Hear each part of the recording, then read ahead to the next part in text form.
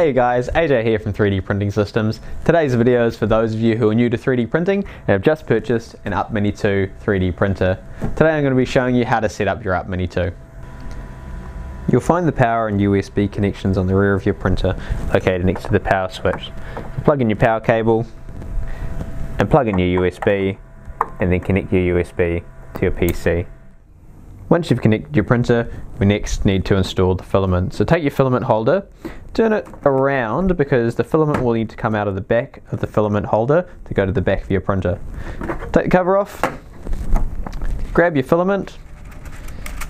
Now, be careful never let, to let go of the end of your filament, otherwise it can start to unravel and you can end up with tangles. So I'll put our filament in, and then we'll need to grab our feeder tube and insert the end of the filament into the end of our feeder tube. And we'll keep inserting the filament until it comes out the other end of our feeder tube.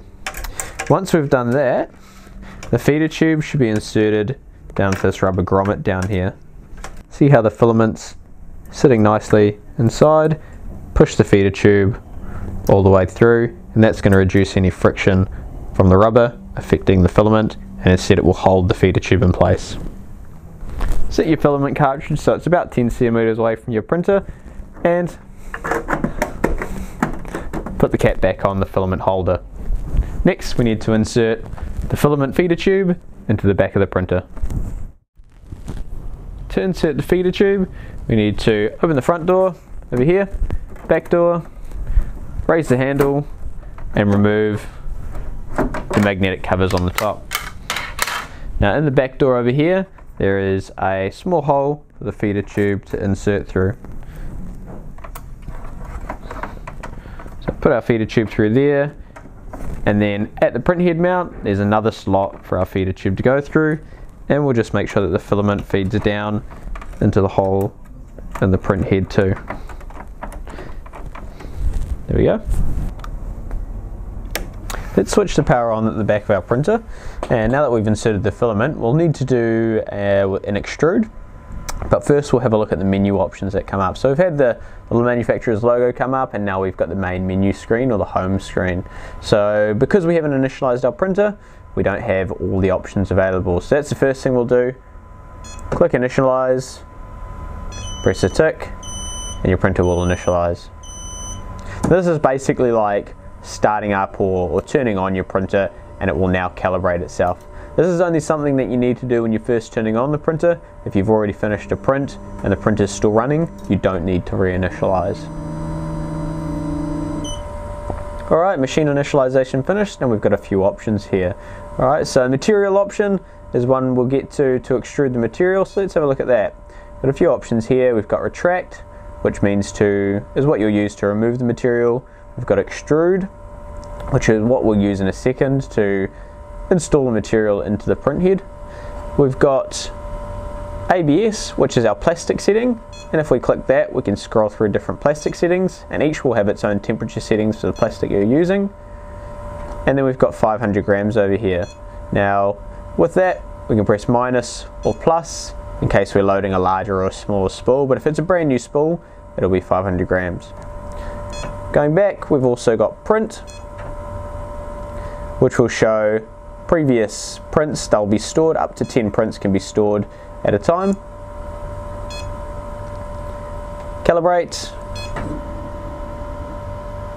Now to calibrate your printer, all you need to do is hit auto and then it will set its nozzle height. So this is something you'll need to do when you first set up the printer. In fact, you should do it before installing the filament because if the nozzle's too hot, then the printer will come up with an error message and won't allow you to do it. So our one's been set, that's 123.4 millimeters, and that's how far the, the uh, platform needs to move up for it to start printing. Information about your printer, it'll have your model, serial number, version number, etc. And you can change the language on your printer as well if you want to. Reset is to restore it back to its factory settings config, we've got our Wi-Fi option, we can turn the lighting on and off, and we've also got preheat. So if you're starting a, a print from the stored memory, If you select preheat, your printer will do a 15 to 15 minute preheat before it starts printing. And we've got our Wi-Fi button up here to set to change our Wi-Fi settings. But that's something you can do. It'll be dependent on your on your settings at home. Alright, and then lastly initialize, which we've already done, so we don't need to redo. So let's go to material. We've already put the material in our print head. We need to do an extrude. Now when we click that, you'll hear a beep, and that's the printer letting us know that the print head is starting to heat. And in the top left corner here, we've got the temperatures. On the left side here, we've got the print head temperature, which is now starting to raise. And on the right hand side, we've got the platform temperature. Now because we haven't started heating the platform, that's going to stay at about room temperature or maybe just above. Our print head's just about to reach temperature. When it does, it's going to start pulling this filament through. So just keep your fingers on the end until you feel the gear grab. If it doesn't grab, you may have to push it a little bit further. But ours has started to grab it there, and it's now starting to pull the filament through. Once it does that, just slot your feeder tube all the way into the print head as well. And you can take your covers and put them back on top. There's our extrusion finish. So we've got a little bit of material that's come out. Remove that from the printer and discard it, and we'll close the front door. So now that you've installed your filament, the last step is to put the top lids back on your printer. I'll take note of what's underneath your top lids because one of them will have a sticker with important safety information and how to get in touch with us if you are having any trouble with your printer.